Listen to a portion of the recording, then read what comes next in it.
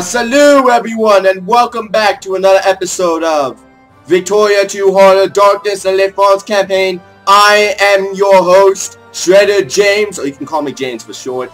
And look everyone, I finally got the title screen working. Um, sadly, though, I got it working on the very last episode of the Falls campaign. Um, basically, I'm gonna have to cut the series short because, um, um, well, let's let's go back a little bit. So, as you guys know, we had started this third great war of awesomeness, and you know, it was going to be the world, the war to end all wars, or at least that's what I was coining the phrase to be. No one, no one ever is gonna steal that phrase. It's the third great war to end all wars. It's never gonna come up in a dictionary, but it's going. I'm just going to say this right off the bat. I tried my hardest. I tried my best to get the game working and to get through all those battles. Because as you guys know, you probably only saw one clip of me of the freezes and all that kind of things. I went, let me just say this, I spent a great deal of time trying to get that to work. Trying to get it to work so that we could play it so you guys could see it. It just did not work. I mean, even by my, even without Fraps running, the game would crash. The game would, you know, cause major problems and just, you know, do all this, like, stupid laggy stuff. So, you know, what was it? I just, you know, I just decided that, well, first off, I decided, one, it would not be worth watching the game at this point. Okay, because I don't, if I was watching the series, if I was my own viewer, put myself in you guys' shoes, I would not want to be watching the series. Even if I loved it, I would not want to be sitting through a lag every single second. You know, I'm talking about this cool battle going on and it's already like I'm just starting to get to the battle when you guys are watching it, so I don't want to get to that. And two, I couldn't because it would just crash every single minute. Every single time I'd load up. I mean, I'd get, get to a, you load up, play the game for a little bit, and it'd crash. Load up, get to the game a little bit, crash. And this would be, again, this would be without me even recording fraps. So, you know, with fraps on, I don't think we'd ever have a chance. So, you know, it just, it's a sad thing to say, so, you know, I, I had to do that. So, but you know what? I decided something differently. Instead of um, ending the series right there, giving up on my dream of, you know, fi finally completing a Le France campaign as, well, basically Le France, I just said in the title. But I decided I'm going to tank through the lag and tank through a lot of things to get to the ending of this game. Because I was so close, and you know, I was like, you know what, I'm going to get there. I'm going to sprint all the way, I'm using a lot of, I use a lot of sprinting analogies, but I'm going to sprint all the way to the finish line to make sure that I can get this for you guys. Because you know what, I think what I'm going to do in the next, like, I don't know, 30, 40 minutes, I don't know how long this final episode is going to be, but however long it's going to be, I'm here to, I'm here to think this will entertain you. So what I did was, um, I basically went through, tanked the entire rest of the game, and let me say that was a task on its own, but I'm not going to focus on that. I tanked through the entire game, and what I did was, let me get into the actual game, what I did was, is that I saved at every single point, or at least most of the points that were savable, because I couldn't get any save from 1930, because it was just so laggy, and 1929, I think, was still too laggy, so, um, 1931 was like the first save I could actually legitly get, and that is where we're going to start. And I think you guys are going to be quite interested in about what what happens between now of the game and what happened at the end of the game. So, as you guys know, um, we won the war of the Third Great War. I'm just going to start that off there. And after the war, um, our country was kind of in a little bit of a bad state. Um, we had a little bit of trouble, so, you know, we had to kind of we had to kind of reorganize some of the military, move more troops towards Irish land, and um, do a couple reorganizations. So um, I'm going to cut the video right here, and I'm just going to log into that because um, unlike Shen Plays, who when he did his um, big uh, Let's Play of Tahiti, I'm not going to show you guys like the actual map until we're actually in there because I think it, I think it gives a little bit more of a surprise of what's going to happen. So, See you guys in a second. And we're here. So as everyone can see, um, if you guys look very closely, there are a couple little differences in the world. One is, um, let me, one is, um, Albania was formed. See? that guy that wanted me to form Albania, I did it. And yeah, I, like I said, I made good on my promises. When, I, when you guys told me to make Albania, I made Albania. Alright, so yeah, that was basically from the Great War. That was basically a step from the Great War. Um, what else happened in the Great War was um, Persia got Mosul, and yeah, those are the only things I could like negotiate in the time. So, there we go. That's what happened in the Great War. That's what happened in the Great War. So, anyways, let's actually talk about some of the changes that happened in the map. Um, well, first off, one change that I think is pretty immediate and pretty funny is that the uh, Britons um, finally changed their name from the Great British to the Republic of Britannia. And I remember looking at this, you know, just looking casually over everything, you know, making sure my sphere is all good and everything. And just looking over and all of a sudden I notice that the name is now the Republic of Britannia. And I'm just like, holy shoot, they took my advice! Yes! They finally acknowledged that they aren't technically a United Kingdom anymore and that technically the Republic of Britannia. I was really happy of this change and just enthusiastic about it. And um, I thought I got a little bit of chuckles out of it too. So, you know. Alright, so that was that. That was just kind of a minor change. But one of the big changes that happened in the last thing was, you know, when we were playing Sweden, Sweden was dropping out of world powerness. And um, by the time the world the World War ended, they were basically out of it. So basically what happened was is that um, they dropped out and the person that we replaced them, I never thought this could ever happen, but Australia, everyone. Australia became a great power. And that is something I never have seen in any game, in any of my games. I've never seen Australia become a great power and rise to this. And what I like to also mention, they only have a population like comparatively, um, uh, what is it? The Ottoman Empire has a population of 7.7 million. Um, the Italians have a population of 9.4 million. The the Austrians only have a population of about 4.6 million. And they some and the fascists. okay. That is something that I've never seen before. So, but yeah, fascist Australia, fascist Australia. That that that seems pretty good. So, but yeah, and one of the immediate things that they did, which I thought was one of the most gutsy things, is that they immediately ripped New Zealand out of the sphere of the British. And then, when there was a crisis about the Ottoman Empire, they immediately went on the side of protecting the Ottomans, um, and the British went went on the side of um, the uh, new foundation. I think it was Bulgaria again. yeah, the Bulgarians ruined the chance for independence for me, or for any nation. And I was just like, holy shoot, the Austrians have the guts to actually take on the home country? Dang, I give you props, Australia. But, you know, ultimately I sided with the, yeah, because after that point I said, you know, I'm going to side with the Australians since they have the guts to do that. So, at that point the British lost and Bulgaria was never quite formed in this game um, spoilers, but I never could, I just never could quite get over the fact that they kept, they kept restoring and making sure that Albania could never be formed. I, I would just could not take that anymore. I just could not take it. So, anyways, that's what happened, and, um, just a couple of minor things. Um, we went to war with Morocco, and, and for Spanish conquest, and we're gonna win no matter what. It's gonna be a pretty big win. And, um, one of the one of the more interesting things that happened in the Balkans, I bet you guys can always see it and probably wondering is, right over here, as you guys know, Austria changed its name to Austria-Hungary to symbolize that, you know, they're very universal and multicultural and they're trying to please the Hungarians. Well, um, our good old friend Romania, they basically had a revolution in where Hungary became an independent nation. And so, at this time, we are having two Hungaries you know, dominating the same sphere. And I just don't know. I was just like, oh my, what?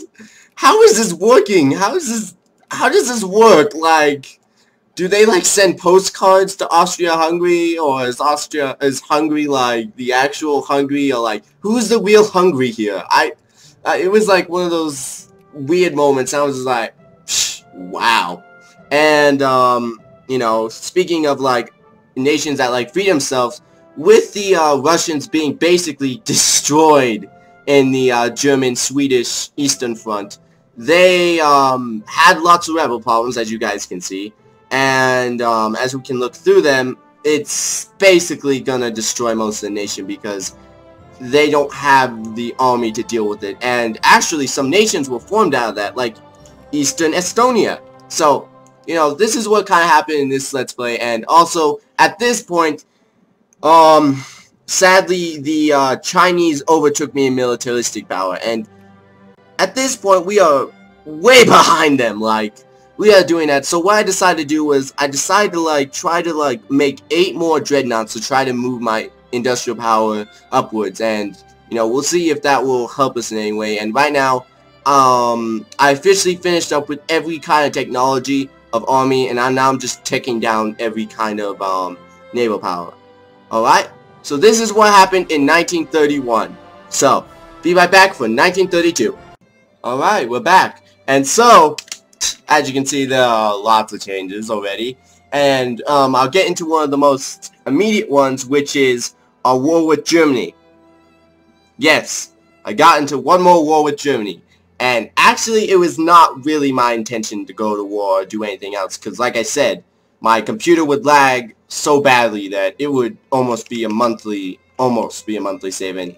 This is starting to lag the computer even when I'm going in close. So, you know, it was a tremendous time. But you know what? The reason why I got into this war was not even my fault. It was, um, it was because the uh, Germans wanted to liberate Hundenstein for their own personal province. And I was like, you know what? No. You don't get to pick on Poland. In fact, I'm the Polish have been my ally this entire time. I've done the best I can to protect the Polish, and basically, I am the shield of the Polish. I protect the Polish people.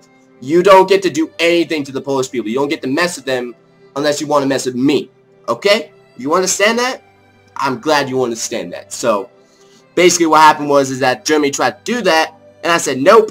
And so I immediately declared war on them, and basically it was a kind of a pish-posh war. Um, I didn't even have to like do any strategy, which I, if you noticed last time, I had to like move all my troops to the line and like keep them there and like defend. No, this time I just moved them all in. It was just basically that easy. Um, I was a little bit worried about the Polish front, worrying that they might get conquered again. The Germans actually lost to the Polish. You see, like over here, there was like a couple good armies over, over here staged up here, and the Polish actually defeated them. In fact, Polish, as you can see, are very near Berlin, and they actually conquered Berlin, and I was really proud of them at that moment. So, good job, Polish. Good job. But um, in this war, it was, you know, like I said, just basically defense war, and, you know, I won't talk about it anymore because I don't want to say what happens. So, anyways, that's what that's what happened with Polish. I mean, that's what happened with uh, Germany. I just got in that war because of that. And, may I also add, when we also declared war, the Austrians, the Australians, I mean, Austrians, Austrians, that's the word, not Australians, they had the guts to say, you know what, we're tired of being under the German foot, and declared war, and are actually fighting a war simultaneously for the province of um, Bohemia. So they'll actually, so they'll actually make the little Bohemian you know, arch thing right here. And, you know, I was like, wow, now that is really awesome. So, you know, everyone's gaining up on the Germans, I guess. Everyone's gaining up on the Germans. So, that's going on right there. And now it's time for the immediate concern, since this was probably the one you guys were looking at and not and thinking of. Uh, the Soviet Union. Yes, the Soviet Union. Yeah, they formed. out of anything that happened in this game in the last like five years, the Soviet Union had to form. Um, I don't think there's really much to say except, wow. And I hope Lenin hasn't died yet. And hopefully Stalin did not take over because there might be a lot of deaths here soon. So, um, yeah, that was a bad joke. Gonna stop right there. But, yeah, and I apparently have some rebels over here. I'm dealing with, oh yeah, Korean rebels. I did not realize they were over here for the very longest of times. Um, in fact, I don't think I even, yeah, let me see. Yeah, as you can see, guys, I did not have Hunt Rebels on with these units, so I didn't really realize that this was going on. So, yeah, but yeah, let me just stop it there. That's what happened this year. Um, I don't think there's really much else that happened. Um, yeah, I have my militarization mobilized. I'm still number one in industrial score, which takes a lot to beat the United States. I mean, the United States this entire time is just right up on my heel. Like, look at that. Look how close they are to, like, gaining up on me and trying to overpass me. But, you know, somehow I'm still ahead at this point. And, you know, I'm kind of praising praising the uh, one God we believe in in this campaign. So, mm. we also, um, at this point, last episode, last little clip, you guys noticed that I was in a uh, liberal government. Well, what happened was is that I was like, no, wait a minute, I don't like the liberal kind of style because laissez-faire does not work for a big nation that has almost established um, factories. So I immediately switched over to the Drone Nationalist, which, you know, I thought, yeah, these guys are going to be so free, so, like, great. And you know what I realized about the Drunk Nationalist Party, which I forget to, I forgot to mention in the main campaign? They are almost as bad as fascists. In fact, I think they are basically a fascist nation. You don't believe me? Well, look at their stats. So, they applaud protectionism, protectionism, state capitalism, state capitalism. As you can see, this is all the same. But what the thing that really made me think that they were um, very much a very oppressive regime, and I really should have like got them out of power quicker, was um, the only the only people that can vote is the primary culture, which if you guys know, that's a very last like little thing, and you know, it doesn't really strike you as something until you really start thinking about it. That means that, like, and if you notice about these guys, it's accepted culture can't vote. But that means that only when I had these guys in power, only the, uh, let me go, only the people that were purely French could vote. That means my French Canadians, I guess in Quebec, or maybe in, um, Santa Pews, let me see, uh, maybe these guys, maybe they could not vote because I was such a oppressive regime. And at that point, I was like, what? You mean at this, when I had these guys in power, I was not allowing any, like, multicultural people to vote? Dang. And then, no, no, it made me think even further back to think of, you know, because I think I had this party in power, like, in, like, two or three episodes in the beginning. And I was thinking, like, back then I only had, um, like only landed people could vote. So that means, at the very least, the only people that could vote in the beginning of my country were state, were aristocrats and capitalists that were of French descent. So, that means people, there were only about maybe like 2,000 people that were in control. No, less than that, probably way less than that. I would guess around 1,000 people in total of aristocrats and capitalists that were in control of my country at the time. And uh, aristocrats in my country at the time. And that means that they were controlling basically the other like 32 million people in my country.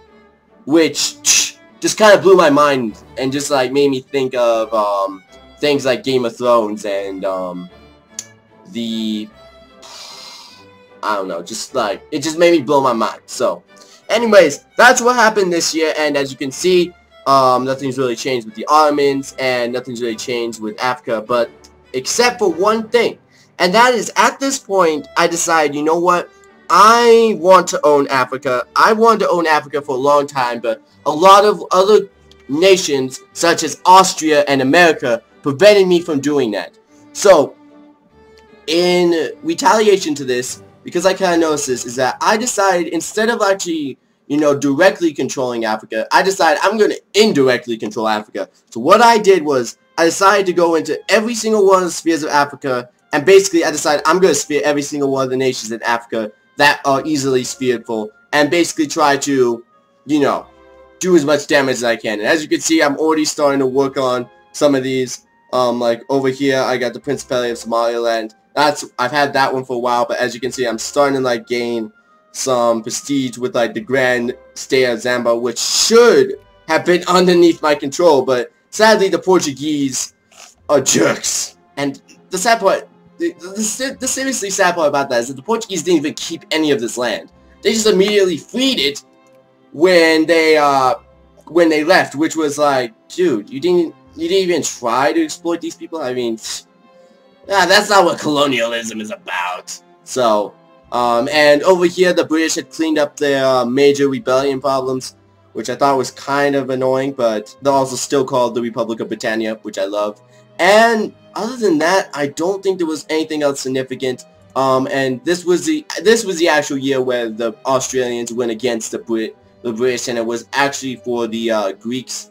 And as you can see, there's only the Italians in on this crisis because I'm busy like dealing with the uh, Germans, and Germans are busy dealing with me. So, and America over here, nothing really happened except for Canada finally decided to say, you know what, we don't like the state of Colombia being independent. We've never liked this. So they finally went in and finally conquered Colombia, which I thought, good for them. That's what they should have done a long time ago. So, anyways, that is this year of 1932. Join us again in 1933.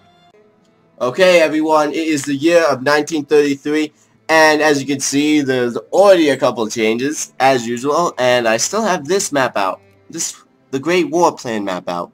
So, um, basically what happened was, during this year, a couple things. First of all, the war between me and Germany and France ended in a complete smashing victory for the French. And what I decided to do was, in the war goals, is that I decided, you know, I'm going to take Colon Train. This little province over here that I wanted to take for a very long time. You know, I said, I'm not giving up until these guys give, till they, till these guys give it, give this to me. And since the Germans were already being attacked by both the Austrians, Polish, and the French, it ended in a smashing victory for me. And I got to keep the province, and I'm so happy. And then it made me even happier when the Austrians, um, even with the Germans like starting to come down on them and starting to like reorganize the army and starting to like crush the Austrians, the Austrians somehow hung in there and were able to regain the province of Bohemia, making the Germans look like the classical Germany we think of today, which was awesome. So, and what else happened was is that I think what what happened between the Austria-Hungary was is that they finally realized that there could only be one Hungary in the world, and so that Hungary won. that Hungary won the exchange, and um, this Hungary is just in shambles, and it's I don't even really think it counts as a Hungary anymore. Romania, just they are sad. Okay, the Soviet Union still could not quite get themselves together, but uh, with me being very much a oppressive regime, I somehow got a very good alliance with the Soviets and could actually look through the land, which, you know, was kind of interesting looking through and just seeing the entire map red. And it got even more like, just like, oh my goodness, when the Cold War, when I looked over at America and it was blue. Just what happened. And so, basically during this year, we still are doing our Spheering of Africa um, steering of Africa. I'm still trying to like gain them all these nations, still trying to get on these nations. And strangely enough, Austria actually speared the Ottoman Empire, which I thought was like, whoa. And the Ital Ita Italians tried to extend the sphere, and as you can see, my sphere is just all over. Okay? That's basically what happened in this year. Um, we also are doing the last final technology of the Victorian 2 technology campaign. This was pretty important, and I think right, right now we're doing a major, yeah, we're right now doing one of our massive expansion, massive expansion um things, because I'm trying to make sure that the Americans do not catch up to us in industrial score, because I want to stress the point that they were really close to us. And I mean really close to us. To the very end, they tried and tried to surpass us in industrial power. But we barely kept them at bay and kept that 1-1 rating. Now, in terms of um, militaristic, my I was coming close to the Chinese. I mean, what 216 1 2 and the Chinese are about 2 2659. I was coming really close to the Chinese and I was thinking, "Yes, I'll finally be able to catch up to them." Um, do I though? Well, let's find out what happens in the next year of the final years of this Le France campaign. Uh, and so, with 1934 rolling around, um, we are still um, in deep doo-doo with the uh, stupid Chinese not letting us catch up in militaristic power. Um, we still have the stupid great map mode out, which kind of annoys me at some points. Um, the other thing, really, this this year was really much a peaceful year. I mean, there were really no events that really happened except for um, we went into one little minor crisis, and I supported the Greeks in their expansion because, you know, I decided I'm going to help the Greeks just as a little bit as I can, and I expanded them just by one province. So for the rest of this year, the Greeks will have one province for the rest, for the ending of this year, or the ending of these years. There we go. And another thing that significantly happened was is that at the end of this, we finally finished our last technology, so we are officially done with technology, and I'm just like wondering, what the heck do we do with this now? Because I'm like, what do we do? And I think at this point we have maxed out every single social reform there is to know the man. I think that happened like a couple episodes though. But either way, either way, either way, either way. It happened, whatever episode happened, it happened between now and the the game. We maxed out every single social reform. And, you know, now the Drolt nationalists were trying to make me reform the uh, party system, which I was like, okay, I've given I've given up on this. I'm done with trying to reform the party system. I'm done with trying to do that. This is how the party system's gonna work. You guys deal with it. And for the rest of the world, there was really not that many changes. Um, I finally realized that my French, my French people were not doing anything, and the Koreans were just allowed to like run amok and destroy all of my precious provinces. So I finally engaged the hunt mode into them and killed all those rebels two years before the year would end. So um, nothing really else happened, I don't think. Um, at this point, I think we speared a couple more nations. Yeah, we speared the great state of Zimbabwe, uh, Zamba, no, Zamba, that's Zamba. And we speared um, Eastern Angloria, no, we own Eastern Angloria. And yeah, we just basically speared Zimbabwe, but we're still working hard on, yeah, we're about to spear the Great Kashmir Union. So I was feeling really proud of myself there. And one other thing that kind of made me shocked was that um, while I was trying to spell these other nations, the uh, Great British were actually working extremely hard on spearing the Scottish people. Which, don't get me wrong, it seems right for the, for the English to try to go and spear the Scottish people, but it kind of made me think, like, are they trying to reform the Great Union of Britain?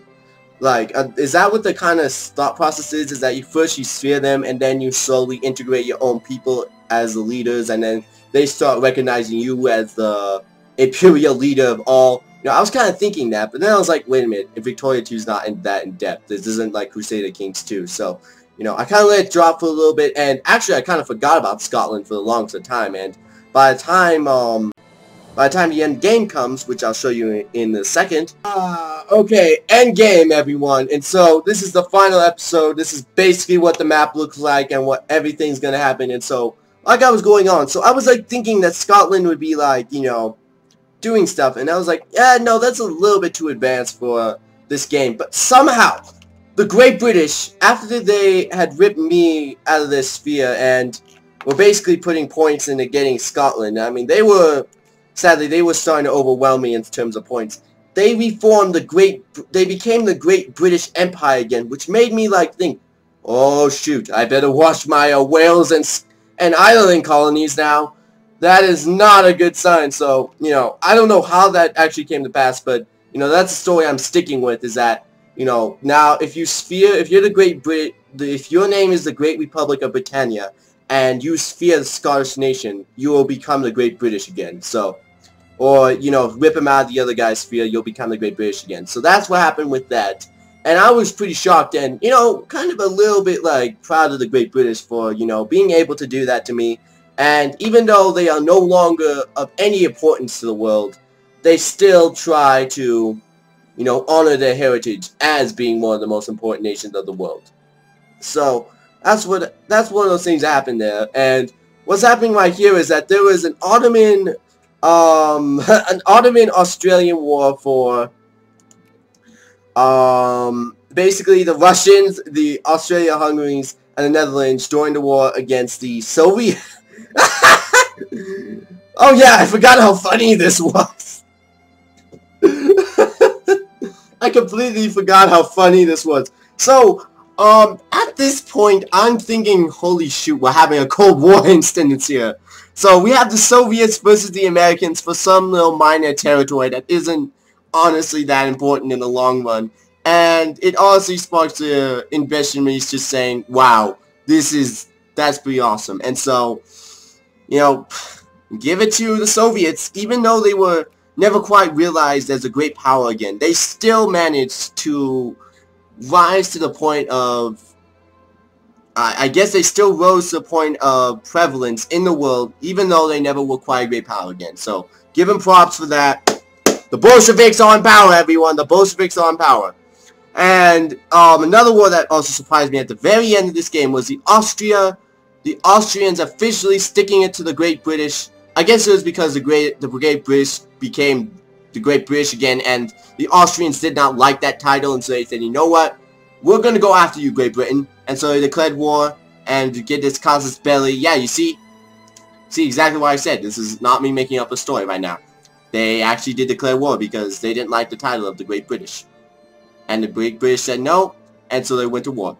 So that was one of those interesting things. I was like, wow, that's pretty cool.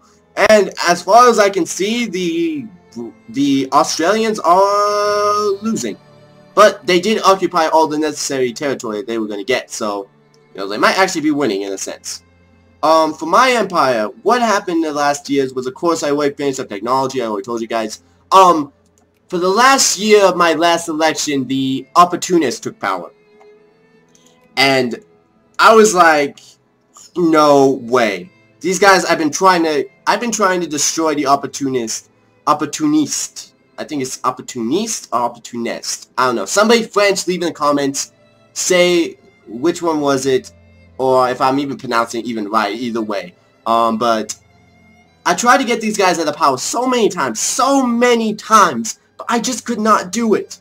And so at the very end of the game, they have the very last laugh, and they get to be in power for the very last day. And I could actually switch right now, but, you know, it's the very last day. Uh, would it really matter? No. It would just be a sentiment. It's just a sentimental victory that on the very last day, they got in power. So, good job for them. And what was our production like? Well, this is our kind of production. Um, I created lots of radios and stuff at the very end of the game. As you can see, I'm just you can see lots of radios just popping up. Created lots of industrial score. I'm actually going negative, but I'm not going negative. I'll explain that that when the game is not going, when you go in, everything starts negative. If I were to start the game right now, everything would go positive again, and you know we'd have a good time. But then the game would be over, and what would be the fun of that? And so, um, what else happened? We just, you know, France remained as a great power of the world throughout the entire score. In fact, with me just sitting on my butt doing nothing, we actually racked up a lot of um, money. I mean, we're about 2.3 million worth. Yeah. And we're not, doesn't seem like we're ever going to stop. I mean, we're not paying war reparations anymore. I mean, I'm fully funding most of my, most of my industry. I'm not fully funding my naval spending. Oh my goodness, I feel, yeah, I'm not fully spending my Navy. My Navy is actually not that big anymore. I think I deleted some of the ships after that Great War because it was actually lagging me up too much. And we're not actually taxing our people too much. I mean, 50% taxes is nothing, nothing compared to what we've been to. So, know, at the end of the game, somehow we did kind of give back to the people and make them feel happy and plead to the masses of what they want. Which is exactly what this campaign was not supposed to be! I was supposed to be this ruthless dictator or monarchy that did not listen to the masses and tried to stay as stubborn and and um, right in his ways as much as possible. But in the end, the wind of change got me out, so I hate you, wind of change.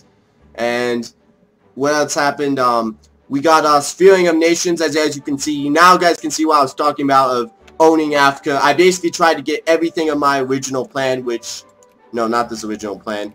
Basically tried to go back to the original plan of the new French Empire. So let's apply. Oh, what? Do I have it? Oh, dang, I can't actually, I don't think, can I deport it? Yes, I can! Yay! Okay, so I tried, what I tried to do was try to get the original boundaries of the new French Empire, and I was actually working on the great state of Zimbabwe a little bit when the game was ending. I forgot about I forgot about them, sorry. I, I forgot about you Natu Zoom band. I completely forgot about you at the very end. But I tried to get most of these like little nations over here and I got Santo. Um, at the very end, I think I did a pretty good job because from my original battle plans, you know, this looks pretty good. Except for these little blue states right here of America, I did pretty good. And over here in Siam, I did a good spearing over there. And at the very end of the game, um, Brazil and Argentina are no longer in my spheres, but I'm trying to get them back. Um, hopelessly, desperately trying to get him back before the end of the game, but sadly I could not. And of course, Scotland's not on my sphere anymore, and so, yeah. That was the end of the game. Um, let me show you the final um, inf infrastructure mode, which I'm actually one of the most advanced nations in terms of infrastructure. And in the last decade, which I was so shocked about, basically every nation in the world decided to come together and basically help out every nation that was not infrastructurally sound. So as you can see, there's all these nations that are starting to like get these advanced infrastructure. I mean, look at the Soviets. The Soviets are, well, before I looked at them, they looked all like they were starting to infrastructuralize quickly, but they actually have a lot of still zero infrastructure. But for the rest of the places, they started to like infrastructure. Everyone in the world started to help each other out and started to like push them up. Like, look at the Spanish. The Spanish is a great example of this. Like, they were basically at zero, and now they're starting to like get really powerful. And then um, Romania and this conglomeration of Hungary and, you know, Cuba is starting to get some. And, you know, just all this help and love of the world was just showing that maybe, no, maybe the Great War did help us out. Maybe that whole fighting we had of the war to end all wars really was what we were fighting for. You know, the unity of the people of people of the world and the you know multiculturalism would not affect us. You know, it was it was just a good sight to see. I thought. Um, diplomacy-wise, you know, this is this is all basically going to stay the same. Um, region-wise, not really going to change. Revolt risk is always interesting because, like I said, I was having a couple rebellion problems in Ireland and Wales, and oh my goodness, uh, it's starting to crash. It's starting to crash. It's starting to crash. No, don't you dare! Don't you dare! Thank you. So as you can see, ah, now now it's starting to really, it's really starting to pitter patter now. Um, but as you can see, this is the revolt risk, and this is what I had to deal with, you guys are wondering. That's what I had to deal with the entire time while I was doing Ascent. This is a recruitment map mode. Um, fun map modes I can do before I have to end this. Nationality map mode. As you can see, everything's kind of the same. Um, China is messed up. Um, we kind of converted a couple provinces, like we did a couple good um, French. French were being really quite powerful and some of these, which will make me happy. In fact, I don't know why right here, this province is not mine, but I don't know. And one of the things that, like I said, I think I mentioned this before, one of the things that really made me happy is that I converted this entire province of Panama to me. I feel so happy of that, because I remember that was not mine, that was originally Colombian, and we magically do that. Okay, any other map modes before this thing's freezing up? Um, party loyalty, basically, ah, no, no, don't crash yet. Um, basically, party loyalty was this. There's lots and lots of, um, not red, but, um, black for the fascists as they slowly started to, like, weave their way through everywhere. We are probably the only light nation in terms of anything. Besides the Swedes, we have everything like, oh my goodness, this is starting to become really bad. Ranking, migrations, migrations, basically the United States was getting like 60k of people a day which I thought was so crazy. Okay, we're gonna have to, uh, I'm gonna have to end it right here.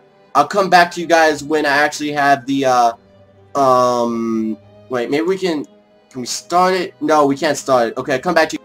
And like I said, it was a second. Ah, because I just finished like a second. See, like, you see, that was, if you just saw the lag, that was basically what I had to deal with this entire like rest of the time. This was, it may seem like a peachy Pashi thing, but that was really what I had to deal with the entire time. And so here is the last political election. This is what I'm talking about. The Liberals took power in the very last election, which I was like, wow. In the end, they get the last laugh.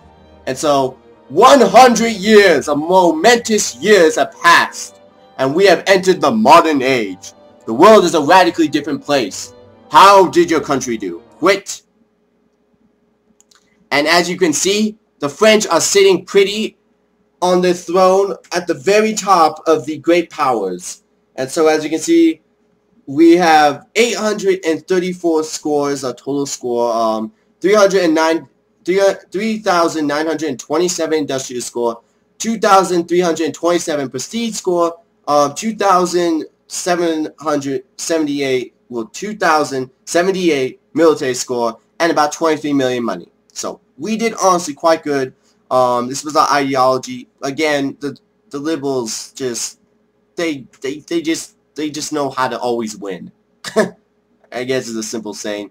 At the end, we invented about 379 of the world inventions, which when I looked up the rest of these guys, um, well, I didn't look them up. I just kind of went in at the end of the game exactly in the same save and just looked at every single one of these guys. We had the most advantage of inventions of anyone. We invented more than everyone else, so I was really happy with that. Literacy rate, we had number one. No one else even came close to this. I mean, the closest person that came to literacy was about 80, no, about 80%. 80%, yeah, that was about it. And we had 97%. So that means even in our colonies, the, and even in the Irish, because the main problem was is that our people, when we added the Irish into our colonies, they were the ones that mainly brought our literacy rate down. So I'm guessing that the British, when they had them under their control, could did not educate the Irish so what we did was basically took the task of that and educate every Irishman to speak French and to learn how to read. So props to us for doing that. At the end, we controlled 289 provinces, factories 238, which was not the most. Um, the Americans had the most, which was um, 315 factories, which, you know, makes it funny how the fact that we kind of kept ahead of them was the fact that we had just, we had more built-up factories. They had more, like, spread out factories. That's how I kind of see how we like came ahead. And brigades, we had 285. We actually had more at one point. I think right before the Great War, we had about 314. And warships, 90. That's a lot. So, let's actually get to ledger. Um, not many of this is really important. Civilized nations and uncivilized nations. Even at the very end of this game, there was still some nations that just could not civilize. And as you can see, they're all listed right here and a little bit right here.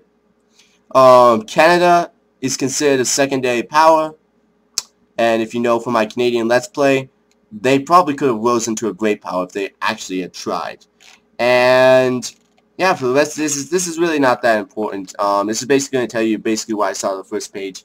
Um, what we have here is a total population of, I think, the yeah, this is basically the total population of the entire population. So the Chinese won with 562 million people in the province, in their country, which was, I think, quite insane.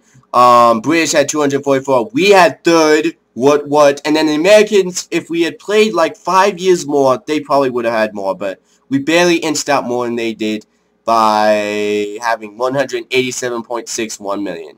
So we also had the most um, provinces which was really shocking. I I didn't even know we even passed the Soviets in terms of provinces, but then then again, they did lose a lot to like the Swedish and to the uh, Estonians. So I really think the Soviets actually had still the more provinces, but we at the end of the game had the more provinces. So yeah.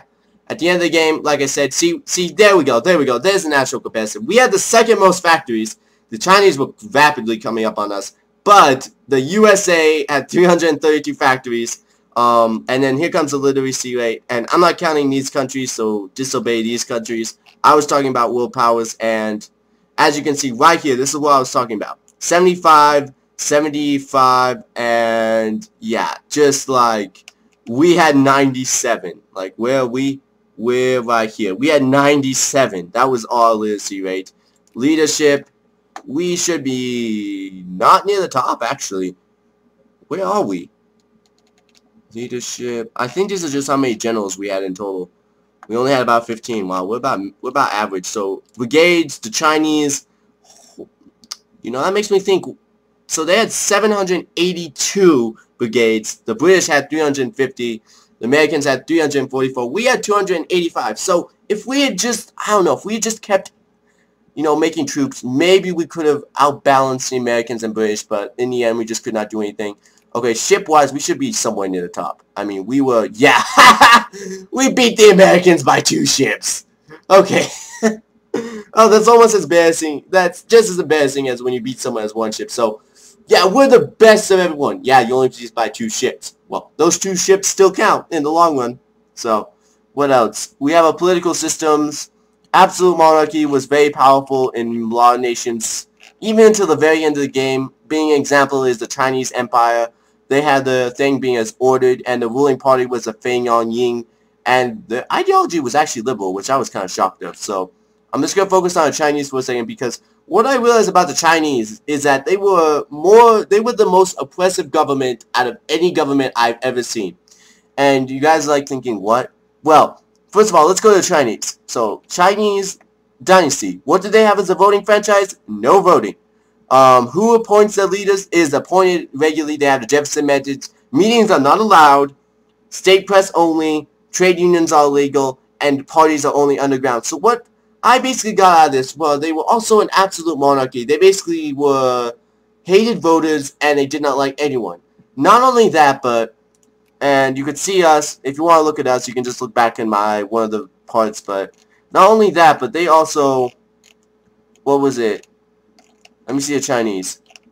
I was also looking over at the side view. Where's the Chinese? China. Okay, I'm just to go by country. Country. Country. Chile. Okay, it should be somewhere in here. I can't see it. Burma, Canada, Colombia. Huh? They don't have China. Make sure about that. Japan, Luxembourg. No, the China maybe? The China...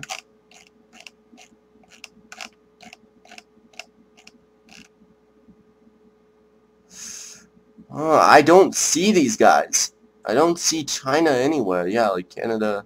China should be like right about here. Don't wait. Right about here. Yeah, I don't know my alphabet. But anyways, but basically what they had was like no minimum wage, unlimited money, no safety regulations, no subsidized, trinket pensions, no healthcare, and no school system. And my thought process was, so you mean with all those people of 5 point of 565.61 million, you guys somehow were able to keep no social reforms, no minimum health care, no safety wages, no anything. And you guys still became almost a great power. You guys became the second greatest power in the world. And I was just like, Psh. at that point, I'm just like blown away and just thinking, wow, China, you got to teach me a lot about your system of government. Because obviously I did not learn anything. And sins and all this kind of stuff, not really that important, but I'll go to us we kind of became close in terms of how many aristocrats were in our country. China had the most. Um, in terms of, I don't remember what this is called. I think those are clerks. The clerks, we had 2.6. Bureaucrats, we had 1.7.2. Capitalists, we were fourth. Um, clergy, we were second. Um, no, those are clerks. What are, those are artisans. Ah, we had lots of artisans still in our country, even at the very end of this game. We had the most clerks in our country. In terms of laborers, we had about 8.77 million. The Chinese were barely inching us out, and so were, and then the Americans had the most. Farmers, third. Laborers, second. Admirals, fourth. Slaves, not even close. And if you notice through the Brazilian Brazilian sides that they still they still had slavery, and actually they actually did have a decent amount of slaves still in the country, which was sad to see. But I couldn't I couldn't really do much about it. So slavery still lived on in this age, but it was very, very weak. I mean, in a total, in total, we only have about, uh, I would say about 300,000 slaves still in the world. But that's nothing compared to what it used to be, and, you know, it just shows the effort by the world to say we don't like slavery anymore. So, anyways, and over here, we are third in terms of military. The Chinese beat us by a lot. We beat the United States, and the Great British also beat us. Um, provinces that made that had the most amount of of um, population in our country was Paris, and Paris is basically going to max out everything. So, uh, actually wait, Montenegro actually did max out a little bit, but Paris was our most important place, and all this right here, right here, right here, ideology. And provinces, I had the most of this. I'm not even going to show you because that's kind of disimportant. Let's see. Places that made the most income. Now, I thought this was pretty interesting. So the places that made the most income were, um, actually, let me not go all the way down because that'd be really boring. But the places that did make the most income were Mino, Dubai, and France, North Berlin. But the place, and they made like zero dollars for us. But the places that made the most money for us were Metz, or Alsace-Lorraine. You know, that region that I always thought that would never make us much money because it'd always be on a brink of war and would always cause us much problems because they would always be the most attacked. they made averagely around 3,012 income for us. The output was around 107. Not the best output. The best output was Tolio, which was 295, and the most employees was Tolio too. But still, for Matez to actually come out as our biggest producer of income was, you know, a really good sight to see. And levels, the biggest levels were in Yaza, the Panama region. Shocking. Shocking stuff here. Goods, Alka, input. Yeah, this is income. Yeah. As you can see, this is amount of stuff we produced and how much was our most. What was most? What was worth the most? Apparently, ammunition really just soared across the skies, and yeah, um, that's basically it. So, everyone, I want to finally say this from the bottom of my heart. Thank you guys for watching. Thank you guys for enjoying this Let's Play, supporting this Let's Play, like, comment, you know, subscribing to it. It was a fun Let's Play. I had the most fun with it. Um, I'm glad you guys stuck with me, and, you know, um, if you guys have any ideas of what I should do next, or you guys want to comment about what I should do next as a Let's Play, um, you know, please, you know, you can, please, I'd be willing, very willing to hear you guys, what you guys have to say, and, you know, maybe I might actually do it. So, thank you guys for watching this Lay Phones campaign.